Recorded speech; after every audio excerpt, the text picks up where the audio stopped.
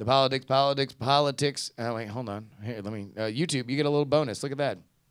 The Politics, Politics, Politics podcast is brought to you as always by patreon.com slash J-U-R-Y. Support not only this show, but also my one mic show jury at patreon.com slash J-U-R-Y. Thank you to everybody who subscribed through uh, November into December, man. It's the holidays. Uh, I very much appreciate everybody who sticks with us. We got a bunch of really cool stuff coming up, including a brand new In Your House tour. So head on over patreon.com slash j-u-r-y as well as a bunch of other stuff but you want to know what my, my screen grab thing isn't working and i can't show you guys so what do you say we just get into the show Politics, politics, politics, politics,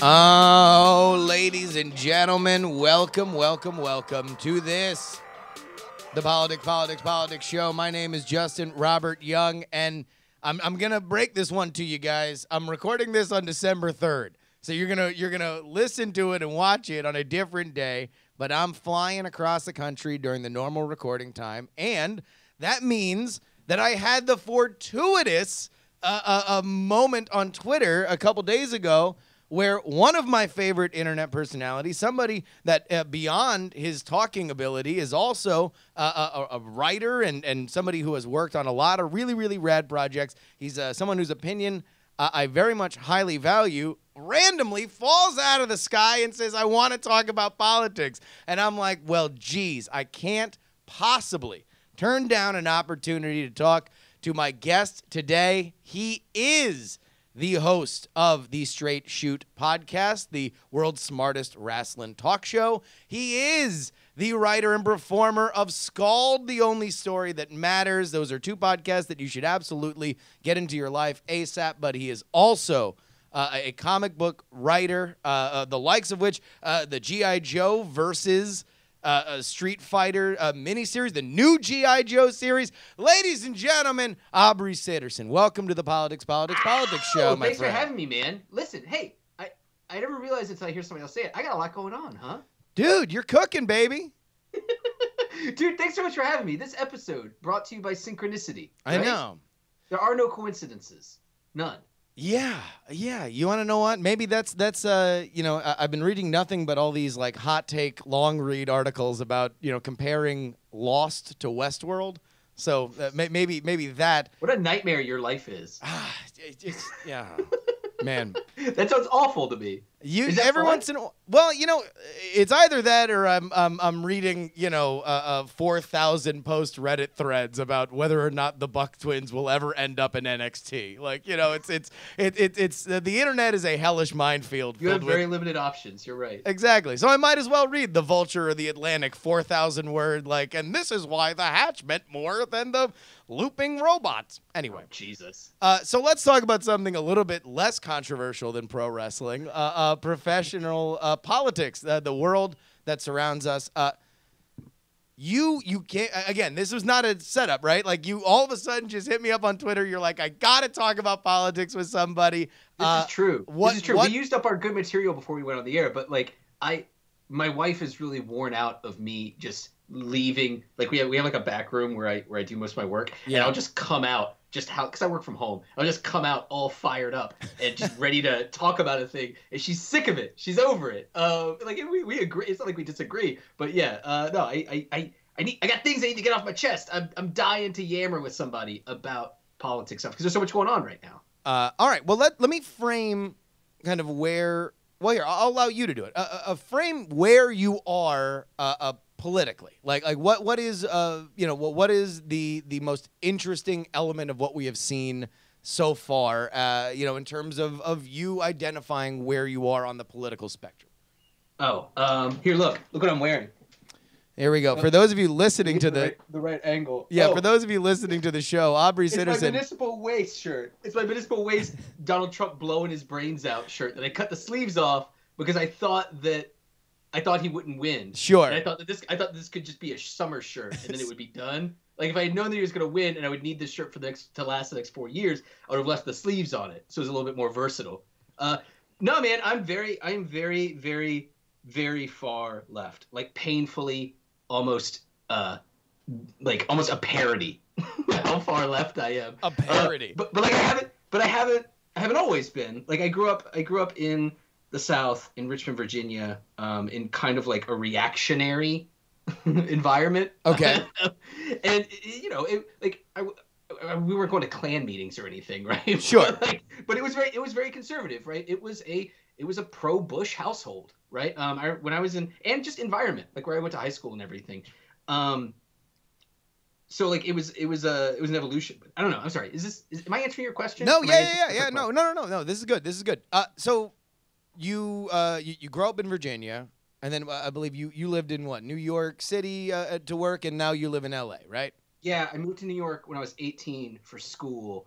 Um, and I went to NYU, which was like a very, you know, as, as you can imagine, it's a very liberal college. So that was Sure. like kind of a kind of a real mind fuck to go from Richmond, Virginia to NYU. Yeah. Um, and even more so, I mean, I started school in 2001, and so I was there for about two weeks before planes started hitting buildings. Wow, are we Um, the same age? I guess we're the exact think same so. age Yeah, then. yeah. Yeah, yeah, yeah. No, because that was that was my uh, that was exactly my experience. I went to Syracuse, so upstate New York, but uh, but but yeah, no, exactly the same the same. so yeah, it was frame, a yeah. it was a very I mean I don't know it was a very weird it was a very weird trying time. Um, but yeah, like as a result of just being in New York for four years and like honestly the biggest thing that pushed me left um, was after I left college because even when I was in college like I just um, I wasn't so much right or even centrist as I was just apathetic, just because Sure. I had had enough of it, and it was just, there was so much of it, and I was it was exhausting too, being new to this place and seeing this place that I lived used as like a political chess piece all the time, and it's not like I was, and a lot of people from New York were very offended by that. I wasn't offended because I didn't have any connection to New York yet, yeah. um, but it was exhausting, um, sort of having. Us so just just just the, the, the politics of 9-11 was was kind of what what framed your political mindset going forward. for a while, yeah. I mean, it, it, it framed it in terms of like apathy, right? Gotcha. Like it, uh, what really pushed me left was getting a job um, in 2005. I started working at Marvel, and then I left Marvel and went to WWE in like 2008, and working in these like entry level positions at you know at big companies, at jobs that I was fortunate enough to have. Like I was, I was super fortunate to have, and I. Um, I, rec- I recognized that. I was, but the thing is, I was fortunate to have any job. Yeah. Um, and those being jobs that a lot of people wanted, you know, you have less, um, you have less bargaining power, right? Because there's so many. There's there twenty when you're an editor. There's somebody Comics- someone someone's going to take your seat if if you want to bitch about how hot it is, right? Exactly, exactly. So that was like that was more formative, me, more so than like four years of like taking classes with like Marxist professors and like Yeah. and, like and meeting like radical cheerleaders on the campus of W or uh, of NYU and stuff like that. More than anything, what pushed me left was how miserable it is being a young person trying to work a job in the you know in the 2008 era economy Yeah. um, and like everything just kind of clicks into the place of how um, I don't know how broken that all is, and that's and, and like and like it's yeah it wasn't like some kind of crazy like epiphany of like oh you know we need to take care of each other and do and do better by each other. It was really actually it was very like self-serving, Yeah. right? This notion of like well I I don't have any way to get over, right? Like I don't have any way to stand up for myself um, against the bosses, against the guys who run shit. And I realized, oh, it's because the, our country doesn't have unions anymore, and that's Yeah. it. You know, like that's that's that is the the bedrock of the problem, and it drove me ex- very very left very very quickly. very quickly. So you want to Yeah. know what? This is a great, a great starting ground because the more that I have looked at this election that we just saw, and we, a have the gigantic upset in terms of how everybody was looking at, uh, uh you know, the numbers going into it. Uh, as much of it's an upset that we have somebody for the first time in our history that has had no government or no military experience in the White House taking the job, as much as this is totally unprecedented, that you know we're now going to have to to take another look at the laws in terms of what kind of holdings you can have uh, as a president, just because Donald Trump. I mean, this is in necessarily even a negative thing to say. Just the system was not built for people like him. The the safeguards were not built for people like him. Just in terms of his career path. What everything keeps coming back to, Hey, Is- can I interrupt? yeah, because I think that I think that like th- this is a thing that I've seen a lot of that I'm not sure if I totally agree with this idea that Donald Trump is totally unprecedented, right?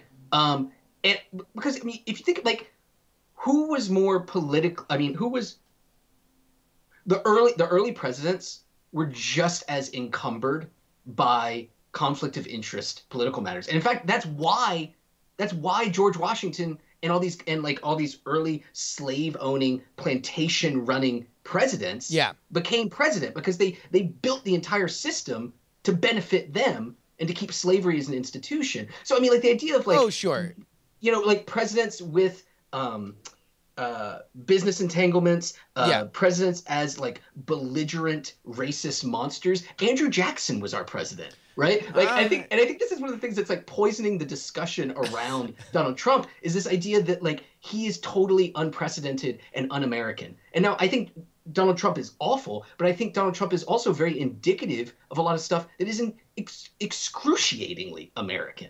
Yeah, well, I mean, there there is something to be said for whenever anybody wants to talk about something that is beyond the pale. You gotta look at Old Hickory, right? Like you gotta understand who. Andrew Jackson was. Uh, uh, so anyway, but here, let me let me let me let me let me draw a circle around this though, real quick. The feeling that you felt when you realized that I don't have a recourse against this system, right? I feel drove this election, and it drove this election on both sides of the aisle. It just so happened that the Republicans got their mini revolution out during the primaries, and the Democrats wound up nesting this egg that came, you know, that that that cracked open, and much like the gobbledygooker, was a tremendous disappointment for everybody else that was looking in great anticipation. So disenfranchisement, the idea that the system was not built for me, I feel is the story politically in 2016, not only here but also abroad, because I think that that was a lot of what we saw what we saw with Brexit. I think it's a lot of what you see in Europe right now is just Pen. yeah, the many facets of when's going to be my turn because we've written the rules for you guys forever. And I think this is also where the Black Lives Matter movement is. I mean, there's just a, a an, an idea of when do we get to hit edit on the Wikipedia article of America and start rewriting the rules so I can get a chance. I agree. I mean, yeah. I mean, and, and I think that that's the that's the driving emotion because it's true. It's accurate, right? I mean, and that's and and like But, but but it can but it can be true on conflicting ideas. You can like Right. you know because because because the white working class union voters that did not show up for Hillary, which is really to me the numbers the the, the, persuasive argument for the election was that hey look for whatever we want to talk about Donald Trump right and and we can dissect him and believe you me we're all gonna have four years to do it. So settle in kids. We don't gotta rush it all out at once. The story right now in the immediate aftermath is just that the lesson of Bernie Sanders was not fully heeded on the Democratic uh, on the Democratic side. When I was covering it for BitTorrent News and I was at in Philadelphia, all the big yelling during the speeches protests were people holding anti uh, Trans-Pacific Partnership signs that were handed out by unions, and then the unions want to come back to you know uh, last week and tell Politico. Um, I, I guess, uh, man, we didn't really see that Hillary wasn't uh, popular with our people. We weren't able to mobilize them in, in the same way.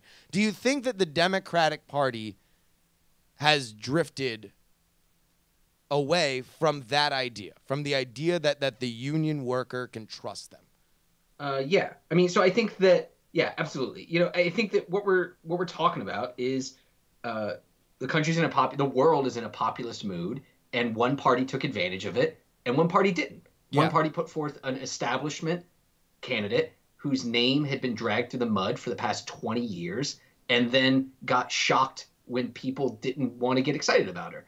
Uh, and yeah, absolutely. I, I think that the Democratic Party in recent years, if you know, if ever, like I don't even know how far you'd have to go back for this to be the case. Yeah. The Democratic Party isn't the party of the working people; it's the party of the unions, and that, that's a difference. There's a difference, Yes. and and I think that you know, like there are I'm sure I'm sure the union organizers were you know realized okay well let's vote for Hillary. I mean Hillary's the best option. This is what we need to do. But the the workers didn't feel spoken to. And I think that uh, there's a lot of there's a lot of talk and I've been guilty of it too just in you know my online presence and stuff and talk about like winning the white working class and and what went wrong and why the Democrats lost the white working class. And that's important to discuss because of the way that our system is built because in a very real way that's who lost the Democrats the election because of uh, where the electoral votes are and things like that. Yeah. But the fact of the matter is, I think the Democrats did a poor job of speaking to any of the working class, right? Yeah. Um, and they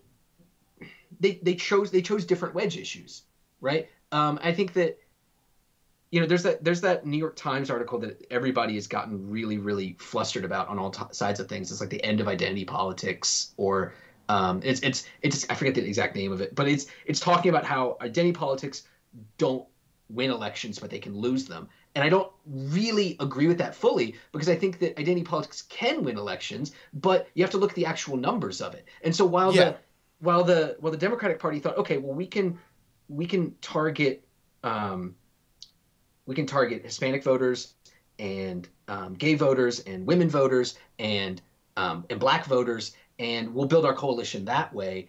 Uh, the fact that like the numbers of the, the the way the country, the demographics of the country are still broken up. If you want to win an election, you still have to get you still have to get white working class to people to vote for you. It's Yeah. just necessary, and like whether it's whether it's morally right or not, you still have to find a way to appeal to those folks. And to my mind, the way to do it, it, it seems entirely obvious, and it touches on what we're, I I was telling you earlier. It's labor. It's labor. Yeah. Right? It's it's a labor movement. It's something that cuts across all of those identity politics lines and actually addresses everybody involved. And I think the there's been a spectacular failure on the part of the Democrats um, to achieve that. And it's not like it's not like and I don't you know I'm not sitting here telling you that the Republican Party's been any better because Donald Trump hasn't even taken office and he's been worse than anybody. You know, he's he's stacking his cabinet with the outrageously wealthy who are just going to line their pockets. Okay, yeah. Well, here, let me let me government. let, let me ask you this. this is something that, that I kind of uh, uh, had a had an epiphany about this week. When Donald Trump says "drain the swamp," right? Forget that this is you know a a you know his his slogan, right? But let's just take the metaphor. For you, Aubrey Sitterson, what do you believe the swamp is? If we want the swamp to be drained, what is the metaphorical swamp? the swamp so i'm a bernie sanders guy so the swamp is campaign finance the swamp is where people get their money and and where people are allowed to spend money to to get political movement that they want Okay. so it's it's lobbyists it's super pacs it's uh, big companies being able to give as much money as they want to whomever they want uh, that's i mean that to me that's the swamp That's the swamp. And the- and Okay, the- so- and the so- industries that have built up around and industries like Yeah. actual industries that have built up around allowing people to buy political clout that's the swamp It's got its own street. It's got it's got K it's Street. crazy to me It's It's its crazy. own And people talk about it like it's part of the it's part of the government and it shouldn't be like like that that's horrible Okay, so let's so let's let's drill down on that. The idea of a corrupt permanent DC class. Would th- would that be would that be a, a, a good larger kind of uh, a, a basket to put those frustrations in? The the, the idea Sure. that that DC is just a permanent place where these people like live out their entire careers to affect the leadership of the country. absolutely So if that's the case, and I think what what to me has been interesting is that some people, and I think even what Donald Trump is trying to speak to, is kind of that, is the idea that I want to impose term limits, right? I want to do this, like I want to make sure the that rules these about lobbyists turn like, over- very, yeah. like, that was very like like I don't know. That was the most interesting thing about like looking at his like um I guess it was like the first hundred days plan. Yeah. Like uh maybe not half, but there was like a significant amount of stuff in there that I read and I was like, well, fuck yeah, do it. Term Yeah. limits. Don't let don't let former staffers become lobbyists. You know, like don't get negotiate our way out of NAFTA. Fucking put a fucking bullet in the in the TPP. Like yeah, it's it's it's fascinating because like there's it's he's not a typical Republican. I don't know. I'm, I'm all over the place. Oh no, he's a. I mean, he was a literal Democrat until like Yeah. ten years ago, and five years ago he said he was very, very, very, very, very pro-choice. I mean, the funniest thing about Donald Trump to me is that he really just is this Rorschach test for everybody on every side of the spectrum. The people that want to hate him will find any little thing, and, and it's there because he's him and he puts out so much, and you can find a way to make him the, this evil person. The people that are that are now now going to be uh, uh, waiting in line to go to his thank you rallies over the next week or so, they all see stars in their eyes, even if they vehemently disagree with him on on various things. I mean, Donald Trump is at the same time the guy who puts Breitbart News in in charge of deciding what he's going to focus on, and is the first Republican candidate to hold up uh, an LGBT flag and have you know make mention that he was very happy that he had Peter Thiel, an openly gay person, speak at the convention. He's also just It's- anti-free trade. Like, And he's anti-free trade. Anti the free market. Like, Yeah. Like there's just no way to. There's no two ways about it. Man, I think in a lot of ways, Trump's less terrifying than Pence is, right? Because Trump, Trump stands for the only thing Trump stands for is Trump, right? Trump is gonna. Trump and his pals, their his cronies, are gonna line their pockets. They're gonna do everything they can. You know, it's it's gonna be a kleptocracy. Like I, I had this was a epiphany I had this week Yeah, uh, like looking at who he's staffing in the White House and looking at who he's putting on his cabinet, you know, as much as people on the right have like for for 50 years now, more more than that, have like clutched their pearls and wrung their hands about us turning into Russia and us like and falling to communism and and socialism and how that was that's what was going to do it and that's what's going to make us turn into Russia. No, what's going to make us turn into Russia is electing a bully strongman who builds uh, an apparatus by which all of his pals can get rich. I mean, that's what Russia is. Now, Russia isn't communism. Russia is yeah. corrupt, like quid um, quid pro quo. Uh, you scratch your back, I scratch your back, you scratch mine, and everybody makes money. That's what Russia is now, and that's what that guy's going to do. Uh, Pence is more terrifying to me in a way because Pence actually believes in some evil, despicable shit. I don't think Trump believes in anything. I just think he's he's. he's Well, just, if, if, if- yeah, if you look at what he's flip flopped on over the past ten years, you know, it, it's you know eh, pretty much you know the name name a thing and and Nothing. he's yeah, you know he believed in winning. He believed in winning, and he believed in Donald Trump, and he did it. And now he's gonna just, you know, he's gonna make himself rich. He's gonna, he's, he's gonna have. I don't mean to downplay the damage that he's gonna do to the country and the republic because it is immense, right? But it's. I would be more terrified of Pence being uh, president, honestly. So, but, but is part of that the idea that the establishment, which is, uh, I mean, like I'll tell you, it's one of those things where, uh, you know, they uh, at the end of the year they always have like, oh, we're gonna add these things to the dictionary. Like establishment. Wow, did that one blow up over the last, you know, uh, uh, you know, twelve to sixteen months? All of a sudden, everybody had an establishment, and everybody didn't want to be a part of it, right? You know, like it was just, it just went from a a thing that kind of everybody vaguely understood to something that had a label and was being run uh, uh, against. What is the establishment for you? Um, I mean, I think it's. I mean, I, I think it ties back into the same. Um, you know, I don't.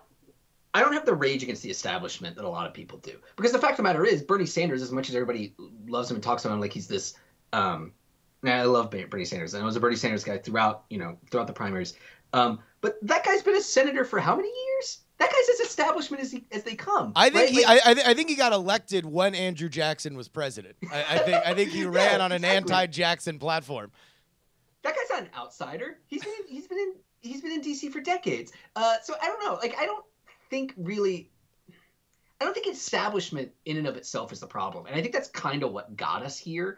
Is that you have enough people who are so frustrated with the system that instead of looking at what actually is broken about it and doesn't work, they just assume that it's the existence of the system in and of itself that is the problem. Yeah. When really it's institutions and it's the establishment. If anything's going to protect us from Trump, it's the establishment, right? It's it's. So who the- is who is the establishment? Who, Well, I don't know. When people say that, I don't even know what they mean. Like, I guess it is just anything in government, just the government. I mean, I think that that's that's how that's how the Republicans have you know made such progress and gotten so many votes is because there's just this general idea that government the establishment is the problem and therefore government is bad and therefore we need somebody from outside of government to come in and solve it which is nonsense it's absurd Well, it's also crazy that, like, you know, man, we went from a month before the election. All I was reading were the death of the Republican Party think pieces, right? How demographically the, the, the country is aligning in a way for which we might have seen our last Republican president, right? Until two weeks later, all of a sudden I'm reading the same people write about the Republicans might have built an uh, uh, an electoral college Death Star, the likes of which the Democrats will never be able to go.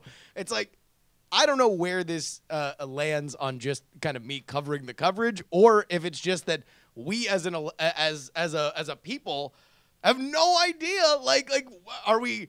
Where are we? Like like are, are, are is is it on one side? Is one party super powerful because it sure looked like they were doing everything they could to to river dance on their own dicks five seconds ago, and now all of a sudden they're a super powered juggernaut that'll never be taken down. Yeah, it's nuts, man. I mean, I think some of it has to do with the kind of echo chambers that not just you and I, but everybody lives in, and you know, and and also the the monetization of the news, right? And people, you know, if if a lot of people click on a think piece about the death of the Republican Party, you know what we're going to be doing next week? More think pieces about the death of the, Of the Republican, Republican Party. Party. Yep. And it, and it's it feeds on itself. Um, I think that's at play. I think what's at play was, you know, touching on what we talked about earlier, this assumption that you know we we've got the unions, we've got the white working class, uh, but not just not just that. But I think there's a lot of assumption, you know, because voter turnout was down across the board. I think a lot of the the Democrat the Democratic establishment, Sure. I'm using it. Uh, the uh, they just kind of assumed that the the groups, the coalition that they built up was sturdy, and everybody would come out and do their job and do their responsibility, and they didn't. Yeah. They just absolutely didn't because they didn't. They like the Republic, the Democratic Party doesn't know how to win, right? The Democratic Party knows how to. Well, they did. Uh, they did until uh, you know uh, six weeks ago, right? That was the whole but- thing. Was that it was but- it was the machine, the blue wall. There was a wall. I mean, but they but they didn't. And even if you look back at 2008 and I'm sorry, 2012 and 2008, you know, they won, and then what happened? They couldn't get anything done, right? Like, and, and this this is a problem. with- Obamacare. Obamacare would be the big thing, right? I mean, that was that was that was the big signature achievement. and even that made nobody happy. That wasn't what anybody wanted it to be, right? Uh, Yeah. Aside from like you know pre-existing conditions and and uh, uh well, yeah, I'm not saying I'm not saying like it didn't yeah. accomplish it. Dude, I No, wouldn't no, have no. health insurance if not for it. yeah I- no no I no no but I, but I agree. I, I think it's it's one of those things where at the end of the day you look at it and it's like, okay, the, the well, drug the drug companies and the insurance companies still get to make a fuck ton of money, right? That's not well and fixed. and now they're a government licensed oligarchy. You know, yeah, like that, exactly. It's So it- it's like it- it's like all right. Well, I'm really glad that we that we ensured that all these uh, companies cannot be competitive with each other anymore. and I don't know I don't know what it is, man. I, I the the left has a real problem where as soon as they get the right wins and then they make shit happen. They get everybody in line and they move forward. Yeah. And the left doesn't. And the left and I think part of it has to do with the left being people on the left being so in love with feeling morally right, which is why people like why there was so much like confusion and like just bewilderment over the fact that dude, I won I think sixty dollars. Uh, I bet I made three different twenty dollar bets with people that Donald Trump was going to win. Um, and there because people were just like, no, no, of course not. There's no way. There's no Oh, way. he God. could." I mean, I mean, we he's- we, he's- we we happen to live in in probably two of the cities that that did that was very excited about Hillary. You know, both L.A. and and the Bay Area were very very very much. They turned out in droves. They turned out and voted for her in, in a way that a lot of the other country, the rest of the country didn't. Uh, it was. I remember I flew out the next day and I took the BART into SFO, and it was. I've, I've described this on on the show before, but it was like a bomb went off. Like it was just silent. It was just weird. Like like it was this the same city way here. It was the exact same way in This LA. city man. was It- not prepared for that. Like it was. It, It- was yeah, a it was shock. wild. and and having grown up in you know and when i grew up in so people forget virginia is only recently a blue state virginia was a red state since always, right? Yeah. Um, when I was growing up there, and um, people just weren't prepared for it. Um, and I think that, you know, it's this this infatuation with feeling like you're morally right and just being able to pat yourself on the back for being right. I think this is part of the problem with the left too, is that instead of thinking about ways to win elections and ways to win and get shit done, it's all just kind of dithering about and bickering over minutia and things, you know, and like, and here's, you know, like pick whatever, you know, uh, pick whatever like internet embroiling uh, dilemma and um, c- catastrophe that had everybody up in arms from a few months ago, right? Yeah. Whether it's you know cultural appropriation or uh, how you know how you should ask people about pronouns or and all this Yeah. stuff that I you know you're right. I agree. Don't cul- cultural appropriation is damaging. Uh, use whatever pronouns people want to use, but every time somebody every time a willing ally and somebody on the left who you should be on the same side with gets dragged on social media or just dogpiled online for I don't know getting something slightly off. Every time that happens, it pushes people right and it fractures what should be a meaningful coalition. And you don't see that happening on the right as much. And I'm not exactly sure why. Well, I mean, I would, I would probably, uh, I, I would, I would kind of disagree with you because uh, I, on the on the right side, because when I was in Philadelphia covering the Republican convention, all I heard was angst and, and anger. But I do think that there is an element that is a little bit more hardwired into the Republican Party, at least that like they they do take seriously the big tent thing that it's like we don't have to agree with everybody. There's these kinds of conservatives and then these kinds of conservatives. Now, that's got an underbelly because sometimes you wind up with people that are like, you know, uh, it, it you know, racist or or you know other things. That's that is a little bit more. I don't, I don't know. Tolerated is probably gonna get me letters, but fucking, you know, that there is there's an idea that no everybody can disagree with everything as long as it's moving the whole party forward, right? and they still come out and vote, and they recognize And they go out and win.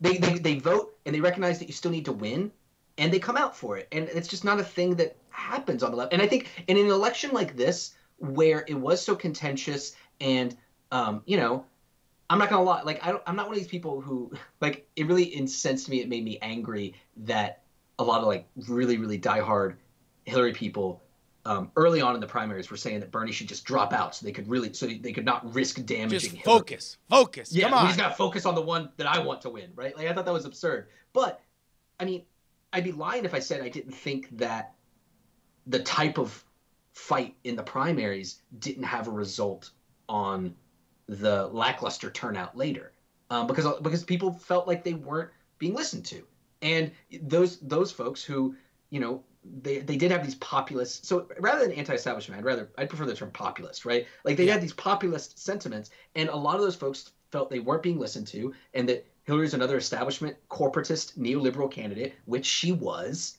right? And as a result they either well like more of them than any of us would probably like to admit hopped ship to trump even though that's psychotic it's crazy well, right? I mean, it- Like, it's it's it's you know, it's either stay home or vote the other way, and, and both are beneficial. And, and a lot of and a lot of I think a lot Trump. of them stayed home too. Yeah. As Oh, yeah. Because no, the numbers the numbers bear that out. You know. Yeah. Uh, uh, because uh, all right, well here, uh, we got a whole half hour without me asking you what I'm sure you get a lot because I get it a lot just as a fan of professional wrestling. People know that I'm a fan of professional wrestling. You are a professional wrestling uh, uh, uh, voice A in, in the media, A seat is the word I use. right?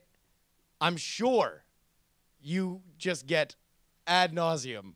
Well, this is what is like professional wrestling and politics, or, or, you know, the, the comparisons between professional wrestling and politics, uh, uh, ad nauseum. Let me ask you two questions. Number one, Hillary Clinton.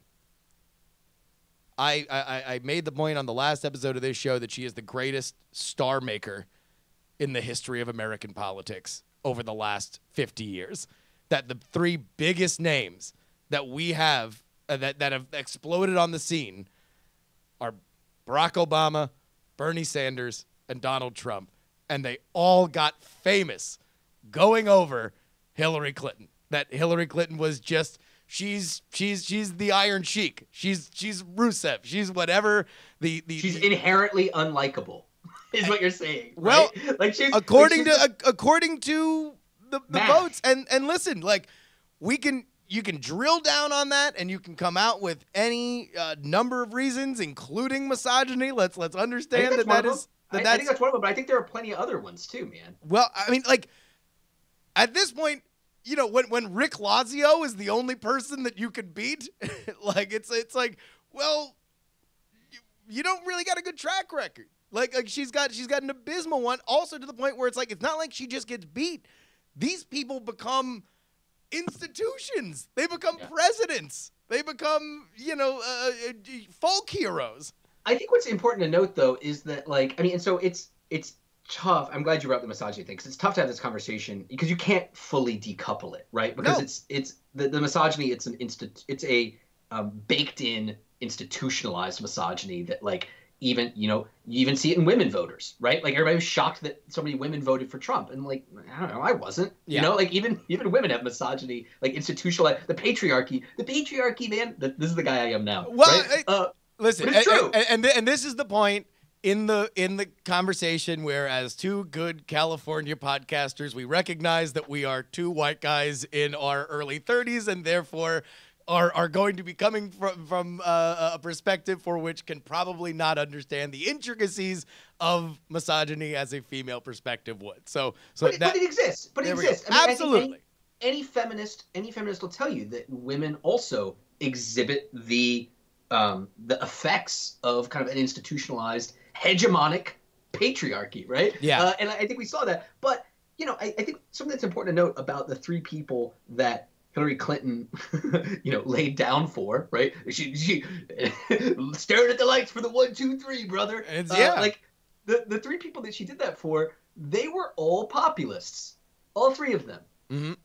Uh, you know, and like I, I, I read a thing a while ago, and I thought it was really, really smart, talking about how we couldn't have Donald Trump without Barack Obama, right? And I, I think of- so. Yeah. I mean, part of that is just kind of logistically because Donald Trump entered on the political scene by making his abhorrent claims about Obama's citizenship, His- right? yeah, but it- even beyond that, uh, Barack Obama made it possible and acceptable for a populist. Uh, I wouldn't go so far as demagogue, but a a pop a populist candidate to win the you know to to take over the political party and win Yeah. right? And and it made that acceptable, and we were all, we were all okay with it because we liked Barack Obama, and Yeah. we are okay with him swooping into office upon you know you know because one of the things that people talked about Obama when they were excited for him to win, it was hope, right? It was like a it was a shitty Shepard Fairey piece, right? And it was and it was the fact that it was the the first black president, right? Yeah. And those were the reasons people voted for Barack Obama. Not saying that guy didn't have a good track record, but- and they were i mean there is a part of this and nobody wanted to hear this during the general election but barack obama got famous because he beat the villain the villain was hillary clinton and now all of a sudden you roll her back eight years later and it's like no no no i'm the good guy now it's like That's the thing. That's the thing I thought was so crazy. Like as a wrestling fan looking at this shit, like we already saw Hillary lose.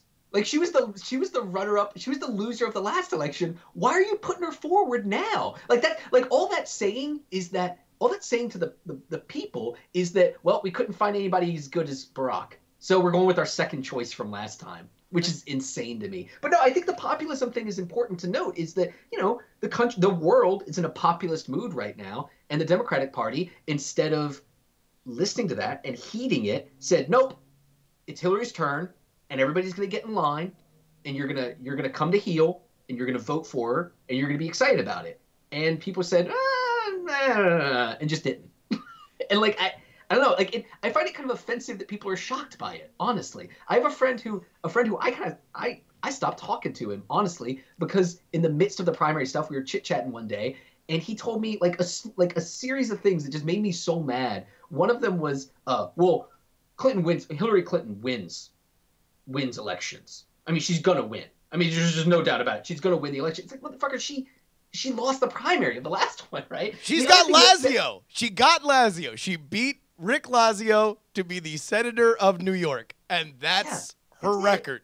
That's it. And I told her, and I told him too. I was like, you know, I, I think that they're really sleeping on class issues. Class issues. This is what this is why Bernie Sanders is a better candidate because he's speaking to these class issues that are really important to people. And what he told me was there are no class issues in the United States. There are only race issues.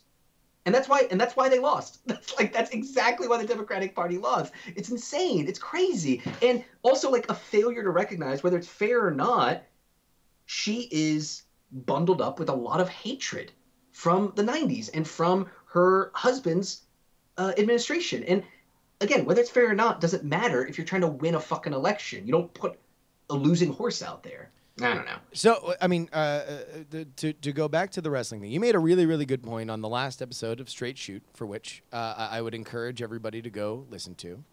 Uh, that wrestling storytelling is much like all storytelling, but specifically in, in kind of how you have to compartmentalize wrestling storytelling, the setting up of expectations and then either validating them or subverting them.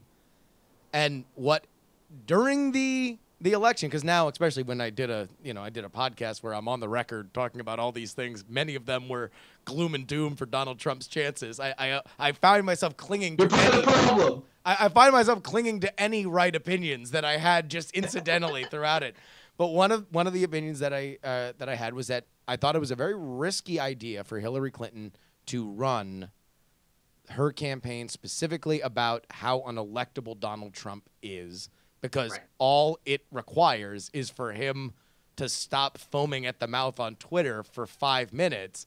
And all of a sudden, if it's like, if the commercial is, here are the 19 things that Donald Trump said that are horrifying, and you just have all these commercials with Sarah McLachlan piano music and veterans with their arms cut off, shaking their heads slowly while they look at the television, and then it comes back to CNN, and it's Donald Trump saying something that you kind of agree with, your message is destroyed. You've completely, you know, your your, your message is just toast. Uh, it, it's it, it's a specious kind of thing. Whereas, as ridiculous and and broad as like "Make America Great Again" is, it's a simple story. Can Sure. we do it? Vote. Yeah. You know, Absolutely. Yeah, I he he gets it. I mean, that guy like he's not a like he knew what he was doing. He knew what he was doing the entire way, and everybody aided and abetted him and was complicit in it. And when I say everybody, I mean everybody. I mean all of us talking about him and giving him attention and writing him off and thinking, you know, no, certainly not. Like he's it's a joke. It's it's a gag. Um, you know, all the media that gave him the all the the airtime that they didn't give to other candidates just because they knew it brought the numbers in. Uh, it's yeah, I don't know. We're all complicit in it for sure. Um, because the, and that guy played us like a fucking fiddle. Um, because that's you know it's something I said a while ago. Like was you can't turn the presidential election into a reality show and then be surprised when the reality show star wins. like like how how could that surprise anybody? It's crazy. uh, you know, it, it's it's something that I think we will we will long, long, long from now continue to be unpacking uh, uh, this election and everything that wrapped around it. What when people do ask you the like, you know, like, oh well, po- politics and pro wrestling, like, what do you think are the elements that that do translate and and which are kind of overblown? Um, what, what I think is overblown is this idea that it's something new. Yeah, that's that's what I think is overblown, right? I think it's always been the case. I think uh, you know, I central wrestling or uh, pro wrestling is so central to my aesthetic um, that I, I look at everything through that lens. Right? Yeah. I look at everything, and, and the way I look at professional wrestling is like a con, right? Um, and it's a con, you know, and every anybody knows anything about confidence games or has watched, you know, The Sting or yeah, like just a movie about confidence games, right? Uh, you can't con an honest John. yeah, If you're gonna con somebody, they have to be in on it. They have to be. They have to think that they're in on it. They have to. They have to want to be conned. Uh, you're a magic guy. It's Yeah. the exact. It's the exact same thing. You Mhm. can't do a trick for an audience unless that audience wants to believe that that trick is happening, right? Yeah. You you have to you have to garden path them into it, and I think that that's true in storytelling, right? Like if I'm if I'm writing a comic, if I'm writing an episode or an issue of GI Joe, I need you to want to believe that these static images on a piece of paper are real and to get invested in it. Yeah. If you don't, then there's nothing I can do to make it matter to you. So you have to be in on the you have to be willingly in on the trick. Um, and I think that that's what politics is to a T. You know, it's a carnival barker. It's a guy, you know, even though you know in your head that you can't that it's you know that there's springs underneath of that basket, right? And that when you Yeah. throw the ball into it, it's going to bounce right out of it. The way he speaks to you and the things that he tells you, it makes you want to believe that, well, yeah, but if I if I throw it just right and hit the back of the basket, and then it's going to bounce in, then I can game the system. Yeah. And I think that that's how that's how wrestling works, right? By saying, listen, uh, yeah, yeah, yeah, yeah, it's fake, but this is real. but Yeah. this part of it is real, right? Even though it's not, it's all fake. Or conversely, by saying, oh yeah, yeah, yeah, you're right, you understand how this works, and then completely switching the script on you and, and spinning things around.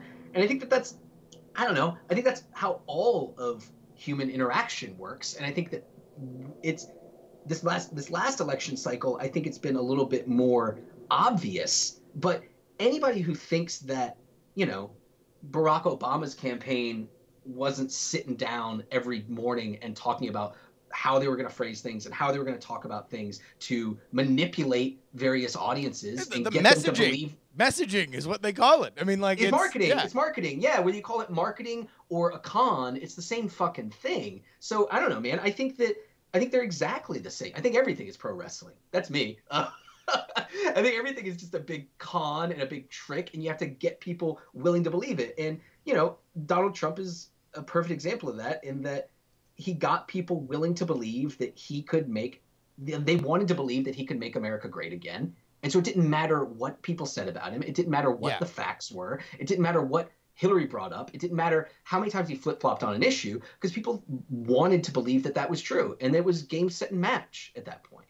Well, I mean, I, I do think that there is a danger of us looking at this like and and overblowing the results because this was an extraordinarily close election that was that was decided on very very thin margins. The fact that And she won. And she won the popular vote too. I mean, that's She did. that's- She did because massive. the coasts, because where we live and and have lived, like were wild about her, right? You know, they they loved her. You know, it was one of those things that I I had to make a realization about myself when uh, uh, you know after the election in terms of understanding my own biases to say, hey, look, the most conservative county I ever lived in was. Uh, when I went to school in Syracuse, when I was on a very liberal campus. Other than that, I lived in a liberal county in Florida. I've lived in liberal counties in New York City, and I lived in a liberal county. I live in the Bay Area, which is like, But this is, but I think this touches on what I was saying earlier in that, yeah, like I mean, uh, the Democrats won the uh, popular vote, and it was a close, ele- you know, it was a close, hard fought election. Um, but they still lost, right? And the Yes. reason they lost is because they failed to actually win where it mattered. And now it's a broken system. The Electoral College is fucked for a million reasons, right? Not least of which being the fact that it has its roots in just protecting slavery, right?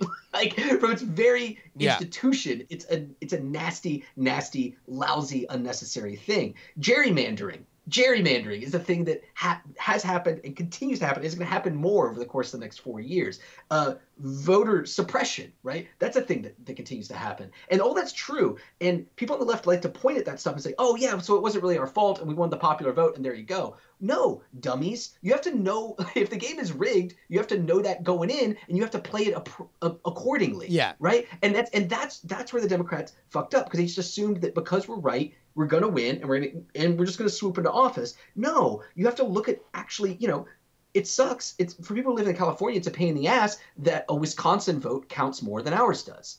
Yeah. It just does, right? Because of the electoral college. But if you're the Democratic Party, that's something you should realize. And that's something that you should play to. And they didn't. They failed to. And that's why they lost the Rust Belt. That's why they lost the election. well, and that's the reason why I, I, don't think that. I mean, granted, it was very, very thin. It happened to be four states that Trump won that were he was not expected to. Maybe Ohio, you know, so three were definitely big surprises. Uh, at, at the end of the day, anything could have affected it. But the reason why I've kind of downplayed personally, I, I don't think that the Comey uh, stuff necessarily did, uh, you know, all that much damage, is because the reports were before the initial, before Comey reopened uh, everything so close to the election, Clinton was talking about going to Utah and Arizona and New Yeah. Mexico and Texas to try to turn Texas blue. And it's like, so let's say the Comey thing never happened, right? And then let's also assume that it doesn't leak out, which is personally my theory that I think Comey came out and, and put it on an FBI letterhead because he was afraid of other people, of other agents leaking it. Uh, that you're being in Salt Lake was going to help Wisconsin, was going to help Michigan was going to help uh, Pennsylvania? Because I don't think so. I don't think that those union workers I that stayed I don't home were think going to be helped. thrilled. I don't think. I certainly don't think the the FBI thing helped anything. No. it probably hurt, but I don't even think it's in like the top five reasons why Hillary lost that election. Like I don't even think it's up there. I think there there are a lot there are a lot more of them. Yeah, uh, of bedrock problems. Well, uh, I'll tell you what. Uh, you've been very, very kind with your time to hang out here. Uh, uh, any final thoughts? Any final political thoughts that we didn't uh, we didn't have a chance to get to? Um, it's all about like I mean we didn't really talk much about the how to move forward, and it's something I've been thinking about a lot lately. And I'm kind of it's it's depressing and it's um. I, it's it's hard not for me to get dismayed because I just don't even know what to do, uh, and I still don't really know what specifically to do. And I this is like a thing I've had a busy couple weeks with the Sure. Joe stuff launching, and so I haven't had as much time to like figure out my my next like local political step as I'd like to. But I mean, honestly, if I have to if I had to distill it down to like what the next big step is, it's labor. It's labor. It's a meaningful labor movement within the United States. And I think that's achievable because I think that you know, a lot of the people who need to be part of that labor movement, they voted against, you know, they voted against their I hate saying that because I hate being this liberal coastal guy saying That's people vote that's against uh, their man. I, I'm I'm glad that you have a problem. I I, I hate it. I hate it, but it's hate accurate. that it's true. I don't. hate saying uh. I I always have a problem with that, just because it it prescribes that the the solution of the speaker will Right. accurately diagnose the problem, right? And Right. so Absolutely. Yeah, yeah, yeah, yeah. I mean, and it's it's it's also not helpful rhetoric. No. Right. it's not helpful rhetoric at all. because Uh, basically it, it, it's it's a highfalutin way of saying dummy. I know better right? than you. I know better than you. Exactly. Because I live in LA. I know. Uh, it's like it's an Andy Kaufman bit, right? Like it's not it's not good politics. Exactly. I'm from He- Los Angeles. Uh, but that being said, uh, even though a lot of those folks voted, and here I'll say it in a different way. Even though even though a lot of those folks voted for a candidate who is going to be inherently anti-labor, right? In in in his administration and the people he's putting in office, uh, those folks are still receptive to the message of labor, right? Which Yeah. is of protecting the working class. It is of protecting the American working class. It is fair wages. It is um, you know meaningful employment.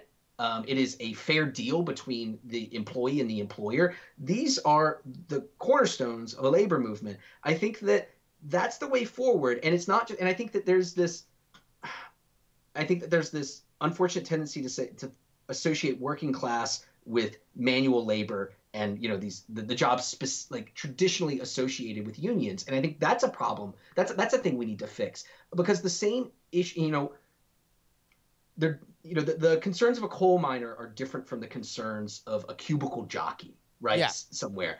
But uh, the solutions are similar right in terms of uh, worker protections and collective bargaining and uh, unions man. I, I think that's i don't know i think that's the way forward. And i, I think that unionizing more industries uh, grassroots and i mean and this is the thing people say all the time but grassroots and local uh, activism and you know and getting you, you can't you can't only care about politics every four years you have and i'm as guilty of this as everybody but you have to care about it every year every week you have to care about it all the time and what what's going on in your community because that stuff trickles upward you know Well, I mean, uh, this is something that I always wind up getting a lot of flack for because normally it, it, it's coupled with my opinion that you are allowed to not vote and a non-vote is is just as valid as anything else. And I agree. I agree. I agree. I go so far as to say, if you're uninformed, don't vote.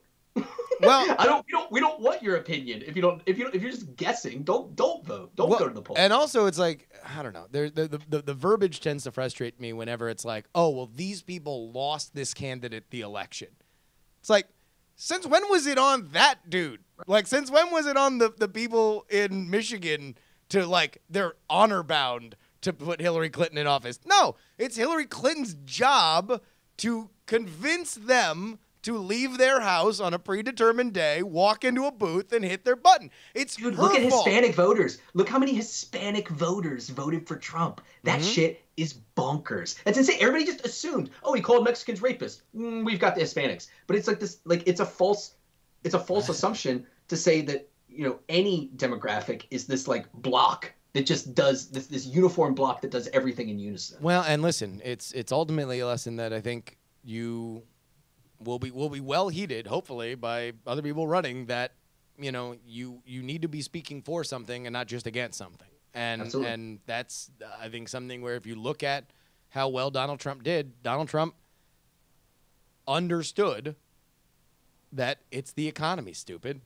It's it's you know it was it was that was the James Carville quote that won Bill Clinton in you know in 1992 and 1996 was the idea that like hey look and this is why and we, we can go out on this but this carrier thing it's a dumb deal it's something that from a free market perspective is is you know uh, I- think a little dicey they're going to be paying From a a lot From a business perspective, it's dumb. from a business perspective it's dumb however however it's great from marketing. from the political theater and this is the kind of stuff where you know if, if if we're looking at it from the pro wrestling perspective what other president before they even get into office can uh, has ever stepped up and said you get to keep your job. Walk up to somebody and, and put out your hand and say because i made a phone call you get to keep your job. It's overpaying for it in a million different ways it sets a And it troubling precedent It was Pence. It was Pence as governor. Like, and it's overpaying it, and a bunch, of, and it, and it sets a terrible precedent that other companies can be like, oh, we're thinking about going to Mexico. Can we get some tax breaks too? It's awful all around. But I mean, and I'm as guilty as as anybody. It's like I, you know, I'm I'm pointing out all the stupid stuff about it. But meanwhile, how many jobs has Bernie Sanders saved? you know I mean, and like, and, and, I, and I recognize that that's ridiculous. But that is, but that's a way. That's something that people say. That's that's the way that people think. And for those of you who are just listening, after that last point by Aubrey Sitterson, uh, you missed visually the double shrug emoji. So uh, I, I feel like that is is the best Watch possible it. way. Watch the video version. We're very handsome men. Just two two shrug emojis uh, right there side by side. Uh, Aubrey, where can people find more of what you do? Everything is on aubreysitterson.com. A U B R E Y S I T T E R S O N dot com. You can find me on Twitter at Aubrey Sitterson. All my social media is Aubrey Sitterson. Things to check out. Every Thursday I do straight shoot. Coming up on December 15th, your boy Yeah, Just, Justin's coming on I'll be straight on. shoot. We're gonna be talking Raw. We're gonna be talking SmackDown. Maybe NXT. Maybe 205 Live. I haven't decided yet. Depends on whatever's interesting that week. Um, it's gonna be a lot of fun. It's a you know it's it's a smart, educated, uh, but like you know optimistic look at professional wrestling. It's good. People it- like it's it. it's it's my uh, you know when I was thinking because now I'm, I'm doing this wrestling podcast now one uh, one nine hundred wrestling and when I looked at the landscape I under I wanted to understand okay what are my favorite shows and why are they good and what I really really appreciated about Straight Shoot is that there is this inherent kind of cynicism and like well look at how dumb these people are that are that are that are uh, you know uh, putting on this product that you very consciously uh, uh, avoid and it is what uh, in my opinion is the reason why a you get the guests that you do which are people that you know actually do it and number two is just a better way of analyzing the product that you are seeing and understanding That's- where where yeah. things are where you can use criticism, right? That's understand. It's not like it's banned on the show. It's just you gotta you gotta separate what is your opinion and what you're latching onto and what you're actually watching. when people forget that criticism isn't just being critical Yeah. right uh, it's it's more difficult but i think more important and more educational to talk instead of talking about stuff that sucks and why you don't like it to talk about what's good and what makes it good Yeah. and so that's what we try that's what we try and do on the show uh, that's straight shoot every tuesday a new episode is Skald. Uh, it's a sword and sorcery serial podcast. Uh, I write every episode for a year and a half now. Every single week, I write a new episode. I record it in one take. Each one's about 30 minutes long. It's psychotic. It's like you're a um, I- lunatic. you're you're an I tell people, I've- I tell people it's like Conan as told by the Ultimate Warrior. It's very like nihilistic and violent and brutal. People should check it out. It's on all podcast platforms. It's spelled S K A L D. I've also started putting it up on YouTube.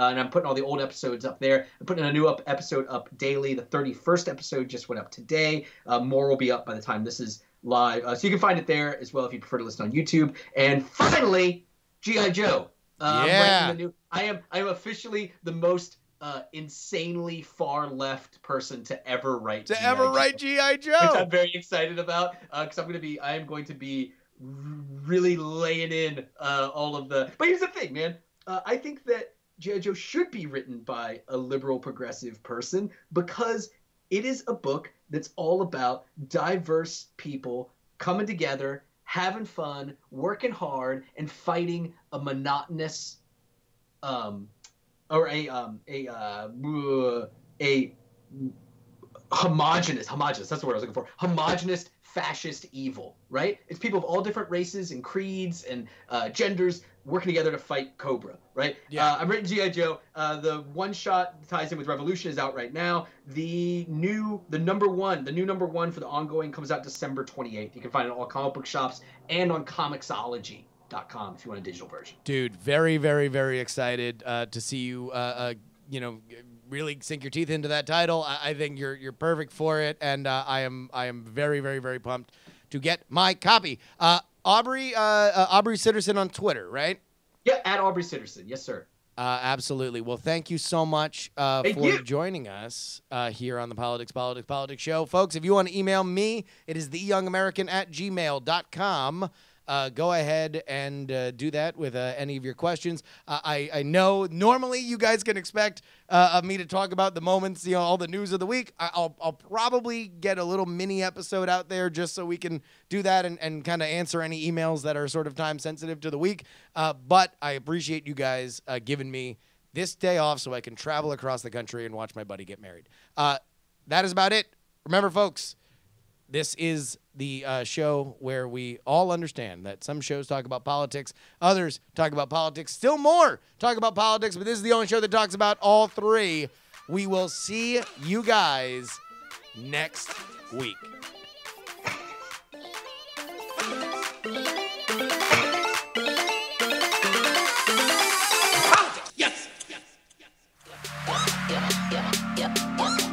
Diamond Club hopes you have enjoyed this program.